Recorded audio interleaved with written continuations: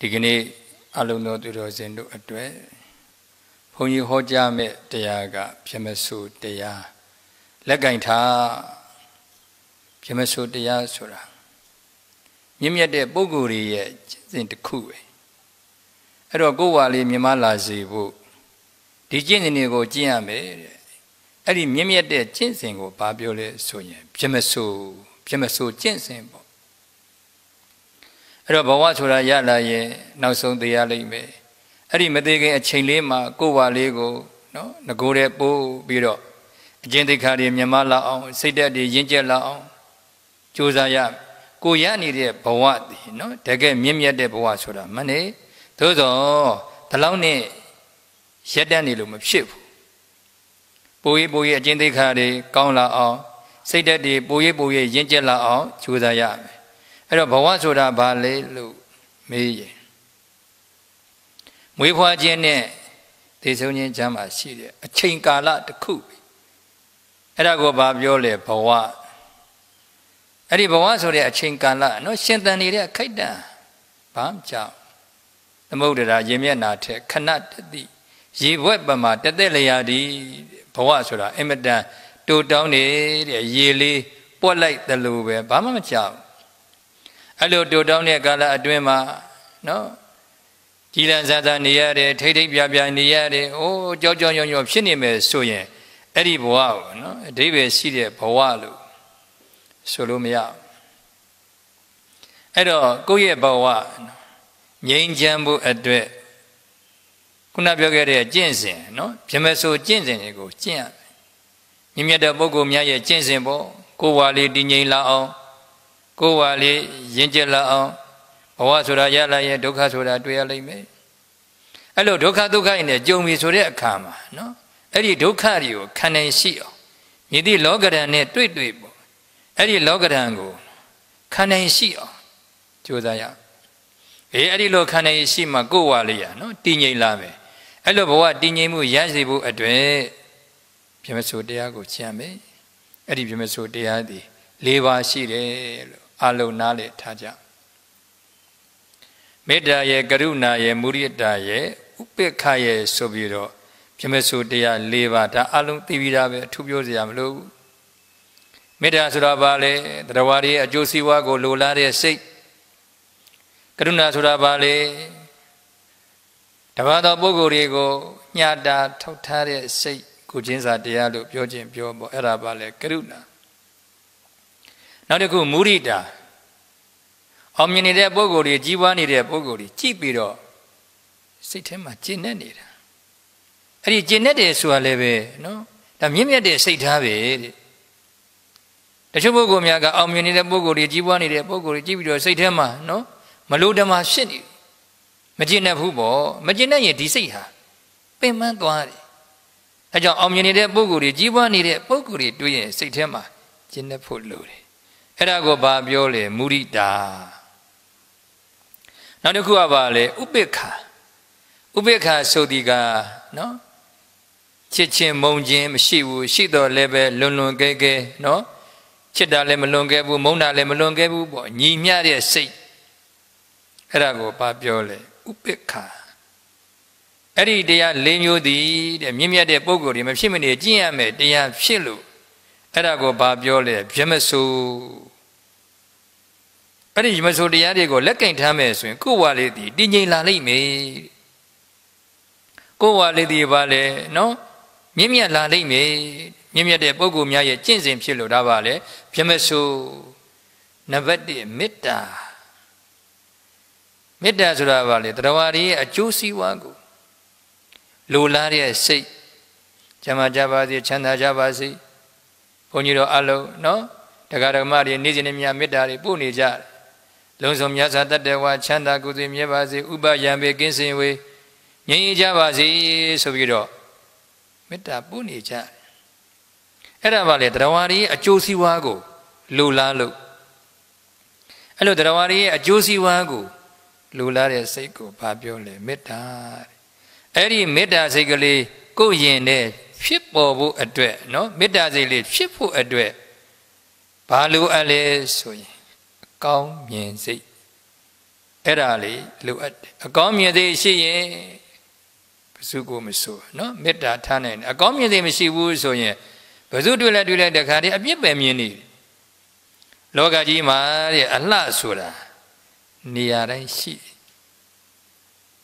အဲ့ဒီအလှကိုကြည်တတ်တဲ့မျက်လုံးရှိဖို့ပဲလိုအပ်တယ်အလှကိုကြည်တတ်တဲ့မျက်လုံးရှိရင်နေရာကအလှတွေကြီးပဲနော်ရေမှာလည်းရေအလှရှိ မိမှာလည်းမိအလှရှိတယ်အဲ့ဒီအလှကိုကြည်တတ်တဲ့ပါလေမျက်လုံးလေးရှိဖို့လိုတယ်အဲ့ဒီအလှကိုကြည်တတ်ဖို့တဲ့ကို့မှာဘာလိုအပ်လဲဆိုရင်အကောင်းမြင်စိတ်လိုအပ်တယ်အကောင်းမြင်စိတ်တွေးမှလည်းအလှကိုတွေးမှအလှကိုတွေးမှလည်းပါလေမေတ္တာဆိုတာဖြစ်လာမှာဒါကြောင့်မေတ္တာစိတ်လေးဖြစ်ပေါ်ဖို့အတွက်နော်အကောင်းမြင်စိတ်ရှိရမယ်ဆိုတာအဲ့ဒါပြောတာ လူတိုင်းလူတိုင်းမှာနော်အကောင်းလည်းရှိတယ်အဆိုးလည်းရှိတယ်ကောင်းကွက်နဲ့ဆိုးကွက်နော်အကောင်းနဲ့အဆိုးတွန်းတွဲနေတယ်အဲ့တော့အကောင်းကိုကြည့်တတ်မယ်ဆိုရင်သူ့ဘုံမှာပါလေမေတ္တာမပြတ်တော့ဘူးအေးမကောင်းတဲ့ချက်ကိုပဲကြည့်နေမယ်ဆိုရင်တော့ဘယ်သူနဲ့တွေ့တွေ့နော်ဘယ်သူနဲ့နေနေအဲ့ဒါမေတ္တာဆိုတာမဖြစ်နိုင်တော့ဘာကြောင့်လဲကောင်းတဲ့ချက်မှ तू ကမကြည်ပဲကိုကောင်းတဲ့ချက်မကြည်ဘူးဆိုတာလည်းပဲသူ့မှာအကောင်းမြင်စိတ်မရှိလို့နော်အ ကောင်းမြင်စိတ်မရှိလို့အကောင်းမြင်စိတ်ရှိရင်ဘာလဲကောင်းတဲ့ချက်ကိုတွေ့ကောင်းတဲ့ချက်ကိုတွေ့ပြီဆိုတာနဲ့မေတ္တာကဖြစ်သွားပြီဆိုကြပါစို့လူတယောက်အပြောကတော့ကျင်းနေတဲ့ဒုတ်ထိုးဥပေါက်ပဲเนาะမပြောတတ်မဆိုတတ်ပေါ့ဒါကြီးမဲ့သဘောထားလေးကကောင်းတယ်စိတ်ထားလေးကဖြောင်းတယ်ဝစီကံတော့မကောင်းတာမှန်တယ်သို့တော့သူ့ရဲ့မနောကံလေးကဖြူစင်နေ မနောကံလေးကကောင်းနေအဲ့ဒါလေးကိုတခါမြင်အောင်ကြည့်ဩအပြောတာမတတ်တာသဘောထားလေးကကောင်းသားပဲစိတ်ထားလေးကဖြောင်းသားပဲဩကုညီတရားရှိရင်တယောက်မရှိဘူးဆိုပြီးတော့အဲ့ဒီကောင်းတဲ့အချက်လေးကိုမြင်အောင်ကြည့်ပါအဲ့ဒီကောင်းတဲ့အချက်လေးကိုမြင်အောင်ကြည့်မယ်ဆိုရင်သူ့ပေါ်မှာပါလေဒေါသမဖြစ်တော့အဲအဲ့ဒီကောင်းတဲ့အချက်ကိုမြင်အောင်မကြည့်နိုင်ဘူးဆိုရင်တော့သူ့ပေါ်မှာပါလေအပြစ်မြင်သွားမယ်အပြစ်မြင်တဲ့နေ့ပါလေမေတ္တာတရားကပြတ်သွားတယ် မေတ္တာပြတ်ပြီဆိုမှတော့သွားပြီအဲ့ဒါဒေါသဝင်ရောက်လာတာပဲအဲကြောင့်ကောင်းတဲ့အချက်လေးကိုကြည့်တတ်ရမယ်အဲ့ဒီကောင်းတဲ့အချက်ကလေးကိုနော်မြင်ဖို့အတွက်ကိုယ်မှာဘာရှိရမလဲဆိုရင် အကောင်းမြင်စိတ်ရှိရအကောင်းမြင်စိတ်ရှိတဲ့ပုဂ္ဂိုလ်နော်ဘယ်သူနဲ့တွေ့တွေ့အဆင်ပြေတယ်လူကောင်းနဲ့တွေ့တွေ့လူဆိုးနဲ့တွေ့တွေ့နော်ဘယ်သူနဲ့တွေ့တွေ့သူ့မှာပါလဲဩအကုသို့မဖြစ်တော့အဲကြောင့်လေ ရှေးလူကြီးတွေပြောကြတယ်နော်ဟင်းမကောင်းပေမဲ့နော်ခရွင်းကောင်းရင်စားလို့အဆင်ပြေတယ်ဟင်းရတော့ပါလေမကောင်းဘူးတဲ့သို့တော့ကို့မှာပါလေခရွင်းကောင်းတယ်အေးခရွင်းမကောင်းဘူးဆိုရင်ဟင်းဘလောက်ကောင်းကောင်းအဲ့ဒီပုဂ္ဂိုလ်တွေပါလေအဆင်ပြေတော့အဲ့တော့နံပါတ်1ဘာရေးကြည့်လဲဆိုရင်ခရင်ကောင်းဖို့ရေးကြည့်ခရင်ကောင်းရင်ဟင်းကောင်းလေစားရတော့ရတာအဆင်ပြေတယ် ဒီတိုင်းပဲပတ်ဝန်းကျင်မှာကိုယ့်ရဲ့နော်ကိုနဲ့ဆက်ဆံနေတဲ့ပုံကိုယ်တွေနော်အမျိုးမျိုးပေါ့ဗျာလူကောင်းရှိတယ်လို့ပါလေလူဆိုလည်းရှိတယ်ဘလောက်ဆိုးတဲ့ပုံကိုယ်နဲ့တွေ့တွေ့ဟိမကောင်းတော့လည်းပဲခရင်ကောင်းရင်အရှင်းပြေတယ်လို့ကိုယ့်ရဲ့အတွင်းစိတ်ထားလေးကနော်အကောင်းမြင်စိတ်ရှိမယ်ဆိုရင်သူ့ပုံမှာအပြစ်မမြင်တော့ဩသူကသူဘလောက်ဆိုးဆိုးကွာနော် သူဆိုတာကောင်းတာငါနဲ့မဆိုင်ဘူးဆိုပြီးတော့ဒါလေးကိုပါလေသိခံလိုက်မယ်ဆိုရင်ကို့မှာဟောခန္တီဖြစ်သွားတယ်ဒါခန္တီဆိုတော့ပါလေကုသိုလ်ပဲအဲ့ဒါကိုတခါတည်းသူ့အပြစ်ကိုမြင်နေမယ်ဆိုရင်တော့ကို့မှာနော်မေတ္တာပြတ်သွားမယ်ပေါ့ကဲပါလေသူနဲ့တွေ့တော့ငါသိခံရတယ်သိခံလေငါမှပါလေခန္ဒီပါရင်ပြည့်လေပဲဆိုပြီးတော့ဒီလိုလေးနှလုံးသွင်းလိုက်မယ်ဆိုရင်ဟောသူ့ပေါ်မှာပါလေမေတ္တာမပြတ်တော့ အဲ့ဒါကိုပါပြောလေအကောင်းမြင်စိတ်နော်လူကောင်းနဲ့တွေ့လဲအပြုံးပြက်ဘူးလူဆိုးနဲ့တွေ့လဲပါလေအပြုံးမပြက်ဘူးဘာကြောင့်အပြုံးမပြက်တန်လဲသူ့မှာပါလေအတွင်းစိတ်ဓာတ်လေးကကောင်းနေလို့ဩလူကောင်းနဲ့တွေ့တော့လဲပါလေဩတခါတည်းအလွန်တော်တဲ့ပုဂ္ဂိုလ်ပဲဆိုပြီးတော့နော်သူ့ရဲ့စိတ်ထဲမှာကျဉ်းနေသွားတယ်ဟောလူဆိုးနဲ့တွေ့တော့လဲပဲသူကသူဆိုးဆိုးကောင်းကောင်းငါနဲ့မဆိုင်ဘူးသူ့အကြောင်းနဲ့သူပဲဆိုပြီးတော့ဘလောက်ဆိုးဆိုးကိုကသိခံလိုက်တယ်သိခံလိုက်တော့ကို့မှာခ န္တီပါရမီဖြစ်သွားတယ်။အော်ဆက်ကျင်ပဲပုံကုနဲ့တွေ့လို့ငါမှာခန္တီပါရမီဖြည့်ခွင့်ရတယ်။စัญญင်ပဲပုဂ္ဂိုလ်တာမရှိဘူးဆိုရင်ခန္တီပါရမီဆိုတာနော်ဖြည့်လို့မရဘူး။အဲကြောင့်ခန္တီပါရမီဖြည့်ကျင်နေဆိုရင်ဩဟာလေစက်ညင်ပဲပုံကိုယ်တွေနဲ့နော်ရင်ဆိုင်တဲ့အခါမှာဩဘလောက်ပဲဆိုဆိုငါသိခံမဲ့ဟိဆိုပြီးတော့ဒီလိုလေးပါလေနှလုံးသွင်းလိုက်ရင်ကိုယ့်အတွက်ခန္တီပါရမီဖြစ်သွားတယ် ဘလောက်ဆိုဆိုငါအတွက်နော်ကုသိုလ်ရတယ်ခန္တီပါရမီဖြည့်ခွင့်ရတယ်လို့ဒီလိုလေးတွေးလိုက်ရင်ကို့မှာပါလေအကုသိုလ်မဖြစ်တော့အဲကြောင့်အကောင်းမြင်တဲ့ရှိတဲ့ပုဂ္ဂိုလ်သည်လူကောင်းနဲ့တွေ့တွေ့လူဆိုးနဲ့တွေ့တွေ့နော်သူမှာပါလေအပြုံးမပြတ်ဘူးဆိုတာအဲ့ဒါပြောတာအဲကြောင့်မေတ္တာတရားထွန်းကားဖို့အတွက်ဟောဒီလောကကြီးကိုနော်အကောင်းမြင်စိတ်နဲ့ကြည်ရမယ် အကောင်းမြင်စိတ်ကြည်လေဒေါသမဖြစ်လေဒေါသမဖြစ်လေကိုမှပါလေမေတ္တာတရားတွေထွန်းကားလာလေဩဘယ်ချိန်မေတ္တာပို့ဖို့ပို့လို့အစဉ်ပြေသွားတယ်နော်တကဘာလုံးမှာမြတ်တတချမ်းသာကိုယ်စိတ်မြဲပါစေဥပယံပိကင်းစင်ဝေငြိမ်အေးကြပါစေမေတ္တာပို့လိုက်တယ်အဲ့ဒီမေတ္တာပို့နေတဲ့အခိုက်အတန့်မှာတော့ဘိဒ္ဓကြီးမှတ်တတ်ကြနော်ဒေါသဖြစ်ခွင့်မရှိဘူး မေတ္တာပို့နေတဲ့အခိုက်အတန့်မှာတော့ဗာလေဒေါသမဖြစ်တော့ဘူးတစ်ချိန်မေတ္တာပို့ရင်တစ်ချိန်ဒေါသမဖြစ်တော့အကျဉ်းချင်းမေတ္တာပို့နေတယ်ဆိုရင်အကျဉ်းချင်းဒေါသဖြစ်ခွင့်မရှိတော့ဘူးဒါကြောင့်ဘိဒ္ဓကြီးကိုပြောခြင်းလေနော်မေတ္တာပို့တယ်ဆိုတာဒေါသမရှိအောင်လက်ကျင်ကလုပ်နေတာအကြောင်းမဲ့လုံးနေတာမဟုတ်ဘူးနော်ဘာကြောင့်မေတ္တာပို့နေတာလဲကိုယ့်ရဲ့ရင်ထဲမှာနော်ဒေါသတွေခန့်သွားအောင်လို့ ဒီဒေါသတောင်းကျမ်းလာပြီဆိုဒီစိတ်ကပင်ပန်းသွားတယ်ကိုယ်ဝါပါလေမငြိမ်းချမ်းတော့ဘူးနော်ဘဝလေးရနေရတဲ့ခိုက်တံခဏတဖြုတ်ပဲအဲ့ဒါကိုတခါတည်းဟိုစိတ်ဆိုးမှန်ဆိုးနဲ့ထိတ်ထိတ်ပြပြဖြစ်နေမယ်ကြောက်ကြောက်ရွံ့ရွံ့ဖြစ်နေမယ်ဆိုရင်ဘဝအတိတ်မရှိဘူးဒါကြောင့်စိတ်ချမ်းသာဖို့အရေးကြီးစိတ်ချမ်းသာဖို့ဒီဒေါသနေအောင်ကြိုးစားရအဲ့ဒီဒေါသနေဖို့အတွက်ဘာလို့ရလဲမေတ္တာပို့ရတာဒါကြောင့်မှတ်ထားကြ မေတ္တာပို့ရဆိုတာဒေါသနေအောင်လေ့ကျင့်ခံလုပ်နေတာလို့မေတ္တာပို့လေဒေါသနေလေဒေါသတွေနေသွားလေနော်ဘဝပါလေငြိမ်းချမ်းလေပဲဒါကြောင့်ဗာပြောလေပြမဆိုမြင့်မြတ်တဲ့ကျင့်စဉ်နောက်နံပါတ်1ကပါလေကရုဏာကရုဏာဆိုတာညှာတာတဲ့နော်စိတ်ထားလေး ပေါ့ပရဒုက္ခေတတိဟရိယကမ္မနံကရောတိတိကရုဏာတပန်းသူတွေဆင်းရဲတာကိုတွေ့တဲ့အခါမှာသူ့ရဲ့နှလုံးသားတုန်လှုပ်သွားတယ်။ဩဖြစ်မှဖြစ်ရလေခြင်း။ဩတနာစရာလေးပဲဆိုပြီးတော့ကိုယ့်ရဲ့စိတ်ထဲမှာနော်ကိုယ့်ရဲ့နှလုံးသားပေါ့တုန်လှုပ်သွားတယ်။အဲ့ဒါကိုဘာပြောလဲကရုဏာအေးအဲ့ဒီကရုဏာဖြစ်ဖို့အတွက်ဘာလိုအပ်လဲဆိုရင် တနာတဲ့စိတ်အဲ့ဒီစိတ်လေးမှရှိမယ်ဆိုရင်နော်ဘယ်သူကိုမှအပြစ်မြင်တော့ဘူးအလုံးခွင့်လွတ်နိုင်သွားတယ်နော်ခွင့်လွတ်တယ်ဆိုတော့အကောင်းဆုံးပါလေဂလေစားခြေခြင်းပဲတဲ့နော်အဲ့တော့ခွင့်လွတ်နိုင်ဖို့အတွက်တနာတဲ့စိတ်ကလေးအဲ့ဒီတနာတဲ့စိတ်လေးကိုဘာပြောလဲကရုဏာနောက်ဆုံးဘလောက်ပဲနော်စိုးတဲ့ပုဂ္ဂိုလ်ဖြစ်ဖြစ်ဩတနာစရာလေးပဲဒီလူတော့မကြခင်ဒုက္ခရောက်တော့မှာပဲ သူများကအမျိုးမျိုးဒုက္ခရောက်အောင်လုပ်နေမှတော့တနေ့ကျရင်တော့ဩဒုက္ခရောက်အောင်မှပဲဘာမှမသိရှာပါလားတနာစရာလေးပဲဟောကိုအပေါ်စီကနေလှမ်းကြည့်လိုက်စမ်းနော်ဘလို့စိုးသွမ်းတဲ့ပုဂ္ဂိုလ်ဖြစ်ဖြစ်ပေါ့အကုသိုလ်လုပ်ရင်တော့ဗာလေမကောင်းကျိုးဆိုတာရမှာပဲအခုဗာလေဒုစိတ်တွေလုံနေပြီအကုသိုလ်လုံနေပြီဩဒီလိုဘာမှမသိရှာပါလားသူကသူတော့အဟုတ်ထင်နေတယ် ဒီနေ့ဒုက္ခရောက်အောင်မှာပဲတနာစရာလေးပဲဆိုပြီးတော့အပေါ်စီးကနေလှမ်းကြည့်လိုက်ရင်နော်သူကသူဘလောက်ဆိုဆိုသူ့ဘုံမှာပါလေအပြစ်မမြင်တော့ဘူးခွလွတ်နိုင်သွားတယ်ပေါ့နော်အဲကြောင့်ကရုဏာပွားများတဲ့ပုဂ္ဂိုလ်မှာအာဂတရော့သွားတယ်အာဂတဆိုတာကယံညိုးပေါ့ဟာဘာကရင်နာကိမ့်မယ်ဆိုတဲ့စိတ်ထားမျိုးပေါ့နော်သူဆိုရင်ကိုဆိုမယ်သူကြမ်းရင်ကိုကြမ်းမယ် ငါတို့ကမဟုတ်မခံကွာသူများလည်းမစားဘူးဟာကိုလို့လည်းလက်မခံဘူးဆိုတဲ့စိတ်ဓာတ်ပေါ့အဲ့ဒါကိုဘာပြောလဲအာဂတနော်အဲ့ဒီအာဂတကြီးတဲ့ပုဂ္ဂိုလ်မှာစိတ်ချမ်းသာမှုမရှိဘူးအဲကြောင့်အဲ့ဒီအာဂတကိုနော်ရော့သွားအောင်ဘာလို့ရလဲကရုဏာပွားရတယ်ကရုဏာဆိုတာတဏှာတဲ့စိတ်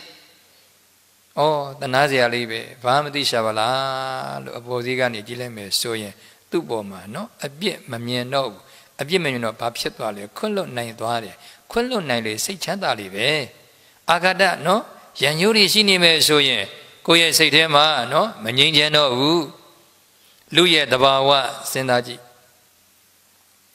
ကိုယ်ကိုဒုက္ခရောက်အောင်လုပ်ခဲ့တဲ့ပုံကိုယ်တွေတွေ့ပြီဆိုရင်နော်စိတ်ထဲမှာမကျေနပ်ဘူးပြန်ပြီးတော့တုံ့ပြန်ခြင်းတယ်ပေါ့အဲ့ဒါကိုဘာပြောလဲဂလေစားခြေတယ်ပေါ့ဘယ်တော့ငါကိုဘလို့ပြောခဲ့ဘူးတဲ့ ဒီပေါ့ကွာဒီကြသေးတာပေါ့နော်ထင်ခွေမကြုံရေခတ်ကြုံတာပေါ့ငါအကြောင်းသိသိရမယ်ဆိုပြီးတော့နော်ပြန်ပြီးတော့ဂလေစားခြင်းမယ်ပြန်ပြီးတော့တုံ့ပြန်မယ်ဆိုတဲ့စိတ်ဓာတ်အဲ့ဒါကိုအာကတဒါပါလေဖြစ်တတ်တဲ့သဘာဝပေါ့နော်လူတိုင်းတော့မဟုတ်ဘူးပေါ့ကိုယ့်ကိုဒုက္ခရောက်အောင်လုပ်ခဲ့တဲ့ပုံကိုယ်ကြီးဆိုရင်ပြန်ပြီးတော့တုံ့ပြန်ခြင်းတယ်ဖြစ်တတ်တဲ့သဘာဝလေကောင်းတဲ့သဘာဝမဟုတ်ဘူးမကောင်းတဲ့သဘာဝ မကောင်းတဲ့သဘာဝလို့သိရင်ကိုယ်စိတ်ကိုပြုပြင်ပေးရဘယ်သူမှမူရရစယဟန္တာဖြစ်လာတာမဟုတ်ဘူးကိုယ်စိတ်ကိုပြင်းရင်ပြင်းရင်နဲ့ဒါပါလေယဟန္တာဖြစ်သွားကြတာဒီအမှုချင်းမကောင်းဘူးလို့သိတယ်ဆိုရင်အဲ့ဒီအမှုချင်းကိုပြင်ရဒီစိတ်ဓာတ်မကောင်းဘူးလို့သိတယ်ဆိုရင်အဲ့ဒီစိတ်ဓာတ်လေးကိုပြင်ပေးရဩသူတော်မှကိုကောင်းပါလားသူတော်မှကိုကောင်းမယ်ဆိုရင်အဲ့ဒါသူတော်ကောင်းမဟုတ်သေးဘူးလေ သူတော်တော်မတော်တော်ကိုယ့်ဘက်ကကောင်းမှအဲ့ဒါသူတော်ကောင်းလို့ခေါ်တယ်တစ်ချိန်ကငါ့ကိုဘလို့ပဲဒုက္ခရောက်အောင်လုပ်ခဲ့လုပ်ခဲ့ဩဒါတွေကိုငါပါလေ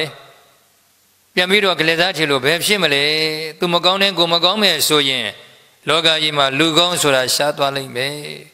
သူကောင်းကောင်းမကောင်းကောင်းငါအတက်နိုင်ဆုံးကောင်းအောင်ကြိုးစားမယ်ဆိုပြီးတော့ကိုကိုကိုပါလေပြုပြင်ပေးရမယ်နော်အဲ့တော့ဘလို့စိုးသွမ်းတဲ့ပုဂ္ဂိုလ်နဲ့တွေ့တွေ့ဟော သူမသိလို့လှုပ်တာပဲသူလှုပ်တဲ့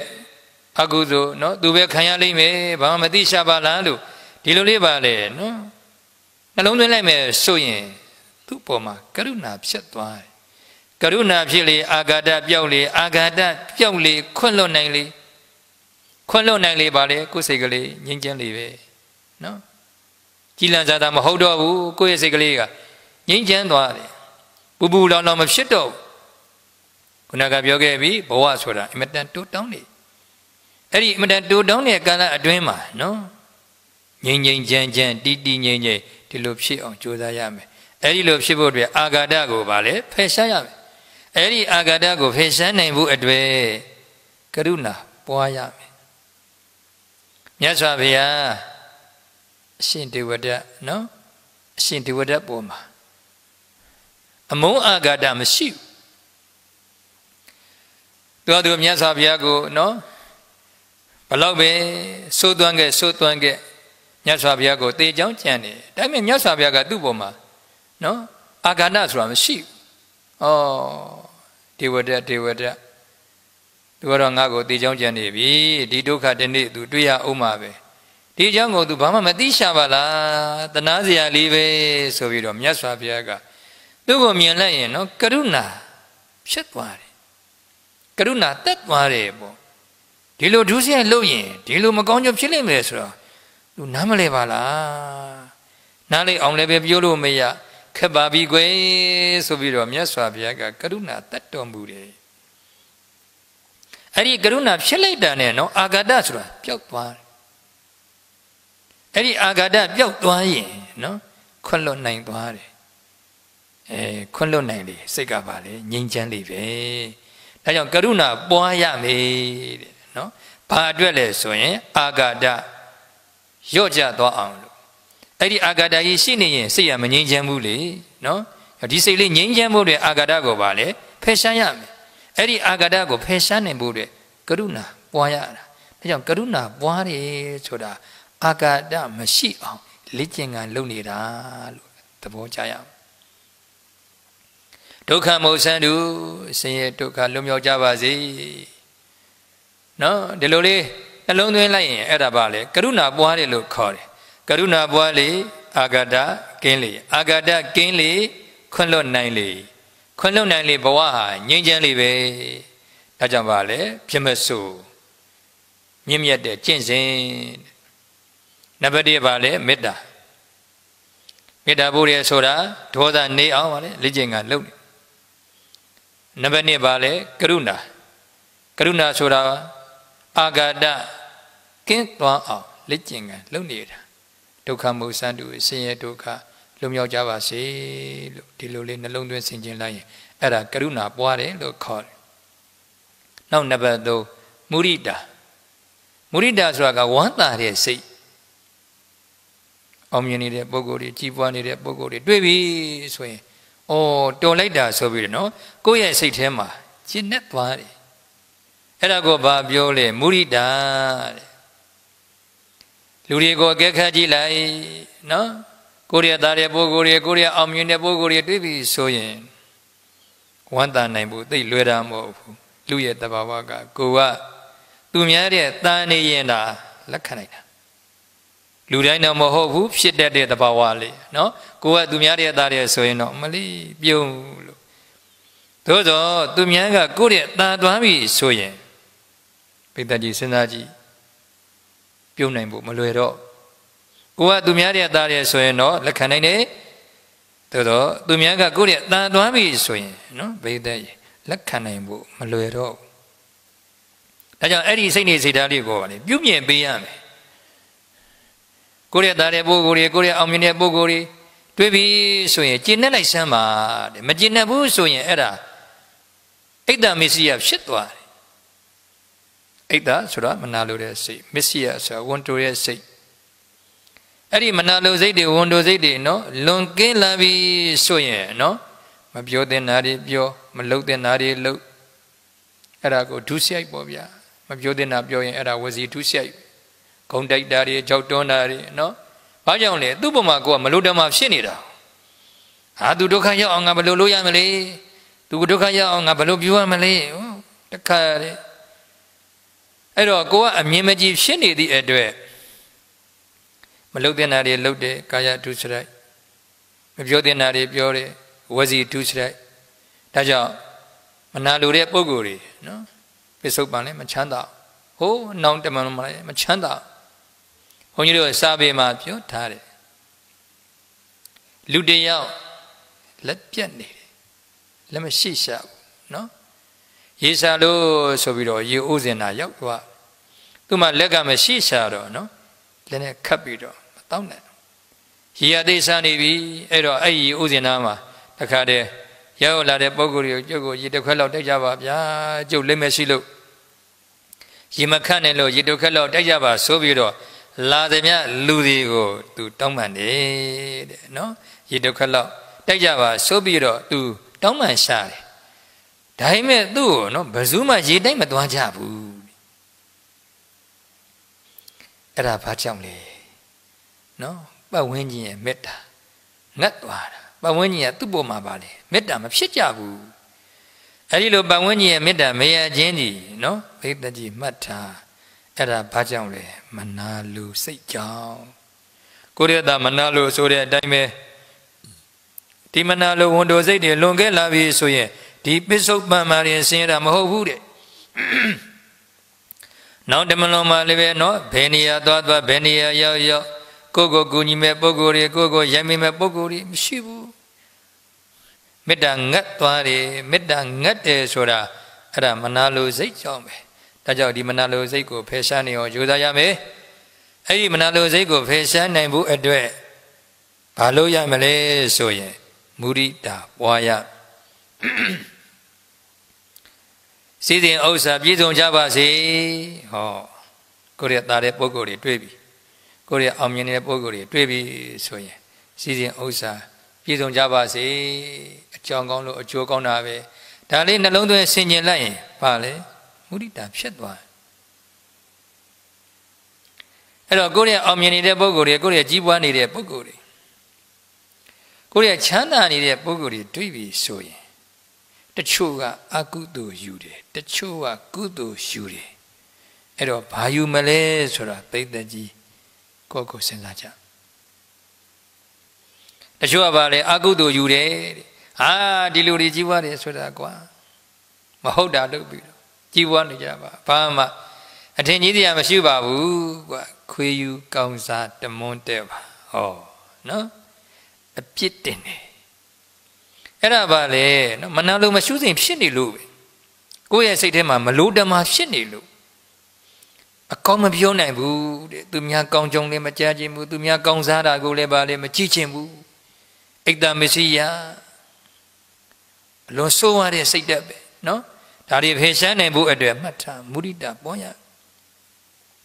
အဲတချို့ပုဂ္ဂိုလ်များကြတော့ချမ်းသာတဲ့ပုဂ္ဂိုလ်တွေအောင်မြင်နေတဲ့ပုဂ္ဂိုလ်တွေကြီးပွားနေတဲ့ပုဂ္ဂိုလ်တွေတွေ့ပြီဆိုရင်ကုသိုလ်ယူတယ်။အော်အောင်မြင်တာမပြောနဲ့နော်စိတ်တဘောထားကဘလို့ကောင်းတာသူများကိုဘလို့ကူညီတတ်တယ်တကယ်တော့ကွာကံဉာဏ်ဝိရိယအကြောင်းသုံးပါပြည့်စုံလို့အခုလိုအောင်မြင်လာတာပဲနော်အကြောင်းကောင်းလို့အကျိုးကောင်းတာပဲလို့ ဒီလိုလေးနှလုံးသွင်းလိုက်ရင်ကိုယ့်ရဲ့စိတ်ထဲမှာအလိုလိုပါလေကုသိုလ်ဖြစ်သွားသူများကောင်းတာကိုကြည့်ပြီးတော့စိတ်ထဲမှာမလို့ဓမ္မဖြစ်နေရင်အဲ့ဒါပါလေအကုသိုလ်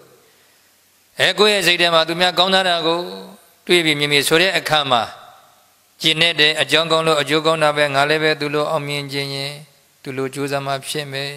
အကြောင်းပဲဖြစ်လာတာလောကကြီးမှာဘာတစ်ခုမှမရှိဘူးကဉ္ဉံဝရိယနော်အကြောင်းသုံးပါပြည့်စုံလို့ သူအောင်မြင်တယ်ဆိုတာအကြောင်းကောင်းလို့ငါလည်းအဲ့လိုအောင်မြင်ခြင်းနဲ့ဆိုရင်အကြောင်းကောင်းအောင်ကြိုးစားမယ်ဒီလိုလေးပါလေနှလုံးသွင်းလိုက်ရင်မုရိတာဖြစ်သွားတယ်အဲကြောင့်မုရိတာဝါတဲ့ပုဂ္ဂိုလ်မှာနော်မနာလိုစိတ်မဖြစ်တော့ဘူးတဲ့တကယ်တော့မုရိတာပွားတယ်ဆိုတာမနာလိုစိတ်မဖြစ်အောင်လေ့ကျင့်ကန်လုပ်နေတာ စီစဉ်ဥစ္စာပြည့်စုံကြပါစေဒီလိုလေးနှလုံးသွင်းလိုက်ရင်ပါလေမုရိတာဖြစ်သွားတယ်အဲ့လိုမုရိတာပွားလေနော်မနာလိုစိတ်မဖြစ်လေမနာလိုစိတ်မဖြစ်လေဒီစိတ်ဟာငြိမ်းချမ်းလေပဲနော်အခုလဲချမ်းသာတယ်နောင်လဲချမ်းသာတယ်ဒါကြောင့်ပြမဆိုးလို့ပြောတာဣဒပိဇနဝဒ္ဒတိဣဒမေစေဓပိလိတာ တတမဩရိကမတေဟနိယုံတကဝေရိနောဣဒဤပိစုပံဘွား၌၎င်းပိဇဓမ္မနောဘွား၌၎င်းဣဒမေစေဓပိလိတာမနာလိုခြင်းဝန်တို့ခြင်းနှိမ့်ဆက်ခြင်းခံရတဲ့ပုဂ္ဂိုလ်တို့ဟာနဝဋ္ဌန္တိကြီးပွားခြင်းမရှိနိုင်ကြလေကုန်ဣဒ္ဓမေစီယ မနာလိုဝန်တို့စိတ်လွန်ခဲ့တဲ့ပုဂ္ဂိုလ်ရာဘယ်နေရာရောက်ရောက်မကြီးပွားနိုင်ဘူးဒီပိစုပန်ပွားမှလည်းမကြီးပွားနိုင်ဘူးနောက်တမလွန်ပွားမှလည်းမကြီးပွားနိုင်ဘူးဒါကြောင့်အဲ့ဒီနော်မကောင်းတဲ့စိတ်ဓာတ်တွေကိုဖယ်ရှားကြအဲ့ဒါကိုဖယ်ရှားနိုင်မှုတဲ့ကိုမှဘာလိုအပ်လဲမုရိတာလိုအပ်တယ်မုရိတာပွားများရမယ်တဲ့နောက်နံပါတ်၄ဥပေက္ခတည်ငြိမ်တဲ့စိတ်အလေးချိန်ညီမြတဲ့ ချိန်ဝင်ကိုကြည့်လိုက်အဲ့ဒီချိန်ဝင်ရဲ့အလဲဘဟုတက်တက်မှာရှိတယ်ချိန်ဝင်ရှာလေးရအလေးချိန်ညီမြရင်ဟောအလဲဘဟုတက်တက်မှာငြိမ်နေတယ်အလေးချိန်မညီမြဘူးဆိုရင်တစ်ဖက်ကိုစောင့်သွားဥပေက္ခဆိုတာအလေးချိန်ညီမြတဲ့ချိန်ဝင်ရှာလေးလိုပဲတဲ့အချစ်လည်းမလွန်ခဲ့ဘူးအမုန်းလည်းမလွန်ခဲ့ဘူးအချစ်မုန်းမရှိဘူးလားရှိကောင်းရှိမယ်ရှိရင်ပဲမလွန်ခဲ့ဘူးပုံမှန်လေးပဲ ရလို့လည်းဝမ်းမသားဘူးဥရပါရမပြောဘူးမရလို့လည်းဘာလဲဝမ်းမလဲဘူးအစဉ်ပြေလို့လည်းပဲဩဥရပါရမဖြစ်ဘူးအစဉ်မပြေလို့လည်းပဲမျက်ရည်မကြဘူးသူ့ရဲ့စိတ်ကလေးဟာပုံမှန်လေးပဲအဲ့ဒါကိုဘာပြောလဲဥပေက္ခဒါကြောင့်အဲ့ဒီဥပေက္ခကိုလည်းပွားများရမယ်နော်ဥပေက္ခပွားများတဲ့ပုဂ္ဂိုလ်ဒီသူ့ရဲ့စိတ်ကလေးอ่ะနော်တည်ငြိမ်သွားတယ်ဘ လို့ပုဂ္ဂိုလ်နဲ့တွေ့တွေ့နော်သူ့ရဲ့စိတ်ကလေးอ่ะနော်ဝမ်းသာတယ်ဝမ်းနေတယ်ဆိုတာလွန်လွန်ကဲကဲမဖြစ်သည့်အတွက်အမတန်မှတည်ငြိမ်နေအဲ့ဒါကိုမှတ်ထားကြနော်ဥပေက္ခလို့ခေါ်တယ်ဥပေက္ခပွားများတဲ့ပုဂ္ဂိုလ်မှာနော်ဝမ်းသာခြင်းဝမ်းနေခြင်းမရှိဘူးသူ့ရဲ့စိတ်ကလေးဟာအလေးချိန်ကြီးများတဲ့ချိန်ဝင်ရှာလေးလိုပဲအမတန်တည်ငြိမ်နေတ ချို့ကအဲ့ဒါကိုနားမလဲတော့အေးငါဒီလိုကိုကြည့်လို့မရဘူးကွာဒါကြောင့်ငါဥပေက္ခပြုတ်ထားတယ်ဥပေက္ခပြုတ်ထားတယ်ငါကြည့်လို့မရလို့ဟောကြည့်လို့မရဘူးဆိုတာပါလေဒေါသပါသွားပြီဒေါသပါသွားရင်အဲ့ဒါဥပေက္ခမဟုတ်ဘူးဒေါသဆိုတာအမုန်းတရားပဲအအမုန်းတရားပါမတော့ပါလေဥပေက္ခမဟုတ်ဘူးဘာလို့လို့ကွာငါဥပေက္ခပြုတ်ထားရဲ့ဆိုတာအဲ့ဒါဥပေက္ခအစစ်မဟုတ်ဘူးဥပေက္ခအစစ်ဆိုတာကပြောတရားရှိကပြောတယ် နော်အဆိုတရားရှိကဆိုတယ်ကုညီတရားရှိကကုညီတယ်ပေးတရားရှိကပေးတယ်ကြွေးတရားရှိကကြွေးတယ်ဘလို့မှနော်ကဲလို့မရတော့ဘူးဆိုရင်ကဲငါအစစရရကုညီခဲ့ပြီအောင်မြင်ခြင်းမအောင်မြင်ကသူနဲ့ဆိုင်တာငါလည်းမဆိုင်ဘူးတရဝတစ်ခုကံတစ်ခုသူထိုက်နေသူကံပဲလို့ဒီလိုလေးနှလုံးသွင်းလိုက်ကိုတော့ဗာလေသူ့ဘာလေအရှင်းပြအောင်ဆိုပြီးတော့ကုညီခဲ့တယ် ဒါပေမဲ့သူကဗာလေမကြိုးစားဘူးစိတ်ထဲမှာဝမ်းမနေပါနဲ့သူထိုက်နေသူကံလို့နှလုံးသွင်းလိုက်ပါထူရပြန်မိဘတွေသားသမီးနဲ့ပတ်သက်လာရင်နော်အမလို့အမရဖြည့်ပြီးတခါတည်းဒေါသတွေပုတ်ကွဲဖို့ငါကသူ့ကိုဒီလိုဖြစ်အောင်ဆိုပြီးတော့ဒီလိုပံပိုးခဲ့တယ်အဲ့ဒါကိုသူကမကြိုးစားဘူးဆိုဟောကိုကပါလေသူ့ဘာလေအောင်မြင်ဖို့ဆိုပြီးတော့ကူညီခဲ့တာမှန်တယ်အဲ့တော့ကိုဖြစ်စီကျင်တယ် तू ကမဖြစ်တဲ့အခါမှာ စိတ်ထဲမှာနော်ဒေါသဖြစ်သွားတယ်အဲ့ဒီလိုမဖြစ်ရလေအောင်တဲ့နော်ပြောတရားရှိကပြောတယ်ဆိုတရားရှိကဆိုတယ်အဲ့ဒီကြားတဲ့ကနော်အစင်မပြေဖြစ်ခင်ရင်လည်းပဲသူ့ထိုက်နဲ့သူ့ကံလို့နှလုံးသွင်းလိုက်ပါတဲ့တရားဝတစ်ခုကံတစ်ခုသူ့ကံနဲ့သူလာကြရအဲ့ဒါကြီးကိုကောကပါလေဟာဒီလိုဖြစ်အောင်လုပ်မယ်ဆိုပြီးတော့ဖန်တီးလို့မရဘူးကိုယ်ကံကိုသာဖန်တီးလို့ရသူများရဲ့ကံကိုပါလေဖန်တီးလို့မရ အဲ့တော့တန်ရောစဉ်လွန်ခဲ့လာပြီဆိုရင်နော်ကိုယ့်ရဲ့စိတ်ထဲမှာအဲ့လိုဆိုရင်ဓာတ်တွေဝမ်းနေတာတွေပူဆွေးတာတွေဖြစ်တတ်တယ်အဲကြောင့်အဲ့ဒီတန်ရောစဉ်ကိုရှုတ်ချရတန်ရောစဉ်လွန်ကဲတဲ့ပုဂ္ဂိုလ်မှာပဲတဲ့ရနော်စိတ်မချမ်းသာတခါတည်းအချောက်တဲ့ကြီးတခါတည်းဟိုးပူပန်းနေတာအချောက်တဲ့ပူပန်းနေတယ်ဆိုတာတန်ရောစဉ်လွန်ကဲလို့ဒီတန်ရောစဉ်လွန်ကဲတယ်ဘာကြောင့်လဲဥပိ္ပခမရှိလို့ပဲဒါကြောင့်ဥပိ္ပခပွားများတဲ့ပုဂ္ဂိုလ်မှာတန်ရောစဉ်တွေနဲသွားတယ် တန်ရောစဉ်နဲတော့တောကလည်းနဲသွားတောကနဲလေဒီစိတ်ကလေးကလည်းချမ်းသာလေပြီဘုန်းကြီးနဲ့ယဉ်နေတဲ့ဒကမာကြီးတယောက်သူပြောခဲ့တဲ့စကားလေးကြားပါပြီလွန်ခဲ့တဲ့10နှစ်15နှစ်လောက်ကအရှင်ဘုရားတဲ့တပည့်တော်သိမယ်ဆိုရင်တော့အသေးဖြောက်မှာမဟုတ်ဘူးဗျာတက္ကမကြီးဘာကြောင့်လဲတပည့်တော်မှာသားလေးတယောက်ရှိတယ်ဗျာအဲ့ဒီသားလေးကမျက်လုံးမမြင်ရှာဘူးမွေးရပါဗျာတဲ့ ငါမြန်းသေးသွားရင်သူဘလို့နေရမလဲသူ့ကိုဘယ်သူကစောင့်ရှောက်မလဲအဲ့ဒါလေးစဉ်းစားလိုက်တဲ့တပည့်တော်တခါတည်းအိမ်မပြောဘူးဖေ။သူ့ရဲ့အနာကတွေးလိုက်ရင်စိတ်မချဖြစ်နေတယ်ငါမရှိရင် तू ဘလို့လုပ်မလဲဆိုပြီးတော့တောကဖြစ်ရတယ်ဒါကြောင့်တပိတော့သိမယ်ဆိုရင်တော့ဒီသားအတွင်းနဲ့အသေးဖြောင်းမှာမဟုတ်ဘူးဖေ။ဒါပါလေတန်ရောစဉ်လုံခဲ့တာ အဲ့တော့ကိုမရှိမှတော့ကိုနဲ့မဆိုင်တော့ဘူးကိုရှိတော့သူ့ကိုပါလေဆောင်းလျှောက်ပေါ့အဲ့ဒါကြီးကိုသူ့ရဲ့အနာကတည်းတွေးပူးနေတယ်ဆိုတော့ဒါပါလေနေရင်ထိုင်နေအဲ့ဒါကိုတော့ကကိုဖန်တီးနေတာကိုသိမတော့ကိုနဲ့မဆိုင်တော့ဘူးမဆိုင်တာကြီးကိုကိုအဲ့ဒါဆိုင်ကျင်တာအဲ့ဒါကခက်နေတာအဲ့ဒါဘာကြောင့်လဲတန်ရောစဉ်ကြောင့်ဒါကြောင့်နော်ကုညီစရာရှိရင်ကုညီ ပေးစရာရှိပေးကျွေးစရာရှိရကျွေးကိုမရှိမှတော့ကိုဘာမှလုပ်လို့မရတော့ဘူးဒါဆိုရင်တော့နှလုံးသွင်းလိုက်တော့သူထိုင်နေသူကံတရဝတစ်ခုကံတစ်ခုသဗ္ဗေတ္တကမ္မတကလို့ဒီလိုလေးနှလုံးသွင်းလိုက်ပါတဲ့ဒါဆိုရင်တန်ရုံးစဉ်လေးနဲသွားတယ်တန်ရုံးစဉ်နဲသွားတော့သောကလေးနဲသွားတယ်အဲ့တော့သူများကံကိုကိုကဖန်တီးလို့မရဘူးကိုကံကိုသာဖန်တီးလို့မရပဲ ကိုကံကတော့ဖန်တီးလို့ရပြီသူများကံကိုတော့ဖန်တီးလို့မရဘူးဖန်တီးလို့မရတာကြီးကိုကိုအချောက်တိုက်တွေးပြီးတော့ပူနေတာအဲ့ဒါပါလေတန်ရောစဉ်လွန်ကဲလို့ဒါကြောင့်သူထိုင်နေသူကံဆိုပြီးတော့နှလုံးသွင်းဆင်ခြင်လိုက်ပါအဲ့ဒါကိုဘာပြောလဲဥပိ္ပခပွားများတယ်ဥပိ္ပခပွားများတယ်ဆိုတာတန်ရောစဉ်ကိုပါလေကင်းသွားအောင်တန်ရောစဉ်နဲ့သွားအောင်လေ့ကျင့်ကလုပ်နေတာလို့ဒီလိုလေးသဘောပေါက်ရမယ် တဏယဇတိသောကောတဏယဇတိဘယံတဏယဝိပ္ပမုဒ္ဒတနတ္တိသောကောကုတောဘယံတောကဘာကြောင့်ဖြစ်လဲဒီတန်ရောစဉ်ကြောင့်ပဲဒါကြောင့်တန်ရောစဉ်ရှော့ချနိုင်ဖို့အတွက်ဥပေက္ခပွားများကြဖြစ်မစို့တရား၄ပါးနံပါတ်1မေတ္တာလုံဆုံမြတ်စွာတတ္တဝါချမ်းသာကိုယ်စီမြဲပါစေ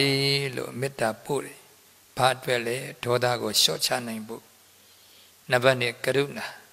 ဒုက္ခမုစန္တုဆင်းရဲဒုက္ခလွတ်မြောက်ကြပါစေလို့ကရုဏာပွားများရဘာအတွက်လဲအမုံအာဃာတလျှော့ချနိုင်ဖို့နံပါတ်3မုရိတာအောင်မြင်နေတဲ့ပုဂ္ဂိုလ်တွေကြီးပွားနေတဲ့ပုဂ္ဂိုလ်တွေတွေ့ပြီဆိုရင်စီးစိမ်ဥစ္စာပြည့်စုံကြပါစေလိုက်လိုက်လဲလဲမုရိတာပွားများရဘာအတွက်လဲမနာလို့မရှုစိတ်လျှော့ချနိုင်ဖို့ နောက်ဆုံးနံပါတ်၄ကဥပေက္ခသူထိုင်တဲ့သူကံပဲတရားဝတခုကံတခုသဗ္ဗေတ္တကမ္မတကလို့ဒီလိုလေးပွားများရမယ်အဲ့ဒါကိုဥပေက္ခလို့ခေါ်တယ်ဘာအတွက်လဲတန်ရောစဉ်ကိုလျှော့ချနိုင်ဖို့ဒါဆိုရင်ကိုယ့်ရဲ့စိတ်ကလေးဟာငြိမ်ချမ်းသွားပြီဒါကြောင့်ကိုယ့်ရဲ့စိတ်ကလေးငြိမ်ချမ်းဖို့အတွက်ပြမဆိုတရားကိုကျင့်ကြံကြိုးကိုအထောက်ကြပါလို့တိုက်တွန်းရင်း ဘုန်းကြီးဟောကြားအပ်သောပြမစုတရားလက်ကင်ထားဤမာတဲ့ဏီကုံချုပ်အပ်ပါတည်း